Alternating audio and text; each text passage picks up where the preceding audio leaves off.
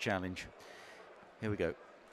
And they're off for this, the Coral Adonis Juvenile Hurdle. And Sarson's Risk in the light blue jacket on the inside of the Churchill Lad.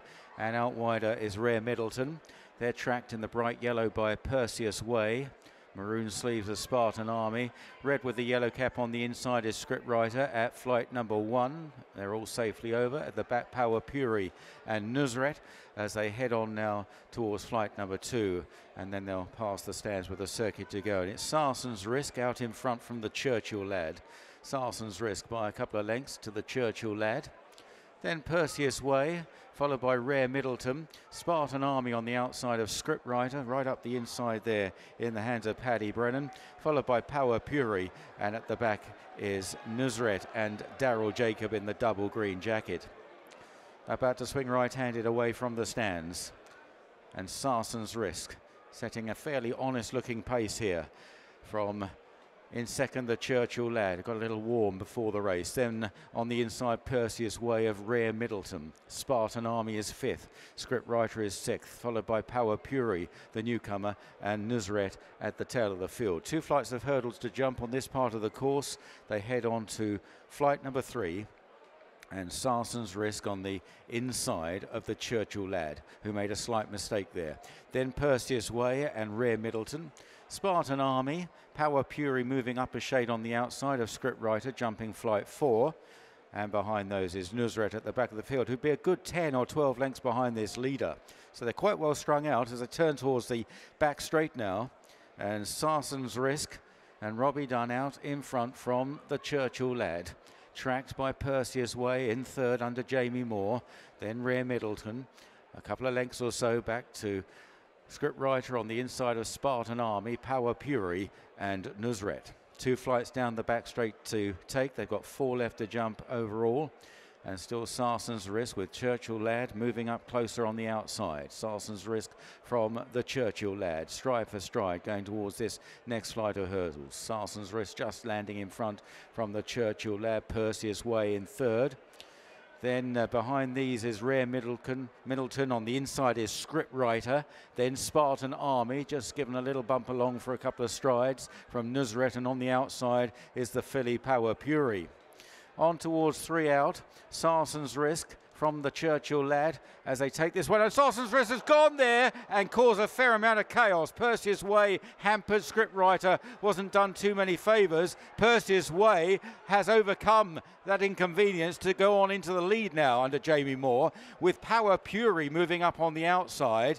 Then the Churchill lad, followed in behind these by Scriptwriter, locked away on the inside, Rare Middleton wider, Nusret and Spartan Army as they head on now towards the home straight. And it's Perseus Way that leads the way, two lengths clear. Power Puri in second place. Under pressure now is Scriptwriter on the inside. Rare Middleton going a bit better. And then Nusret, who's making ground from the rear of the field and begins to look quite dangerous. Heading down to the second last. Perseus Way with a three or four length lead. Perseus Way got in a bit tight. Nusret is making ground relentlessly on the outside. Then Rare Middleton, followed then by Power Puri. Scriptwriter very disappointing. Perseus Way maintaining the gallop, maintaining the margin over Nusret at the flight. Oh, Perseus Way, he got it all wrong, and Nusret inherits the lead, and it's Nusret that goes on from Perseus Way, and Nusret, well beaten by a couple of juveniles in Ireland in his last two starts, is going to beat the Brits here, and Nusret wins the Adonis from Perseus Way. They're well clear of Rare Middleton in third, and Power Puri in fourth. Yeah, I'm going to walk in with Daryl Jacob. Nusret was he was really good. What happened at three from when the horse fell in front? He done well. to be honest with you, I didn't really see what was going on. I was, I was just concentrating on my horse, and then at the back of it, then I seen Paddy's duck left, and I think it was Harry Cobden's duck one way. And to be fair, my horse was very good. He just seemed to, to sidestep it all. He was good at Punchestown. It's, it's, it's good to get come over here and get a gauge, and I think the horses over the RAC are a lot stronger.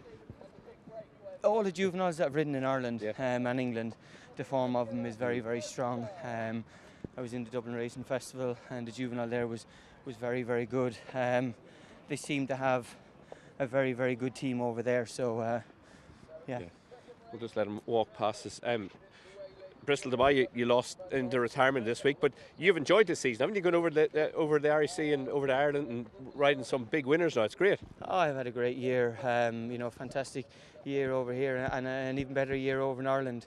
Look, it's a it's a new sort of role that that I'm love, loving loving doing, and uh, look at I just love getting on horses and watching them progress and get bigger and stronger as the year goes, and. Um, you know they've got so much uh, ammunition over there um, you know, it's brilliant just to be a small part of it. He'd be good riding the Boodles, won't he? Please God, look, he's a lovely horse. I've always thought an awful lot of him, um, and I just think he's still very, very green. And I think there's, please God, there's a, there's a lot more to come from. Well done. Cheers, mate. Watch live racing now on racingtv.com.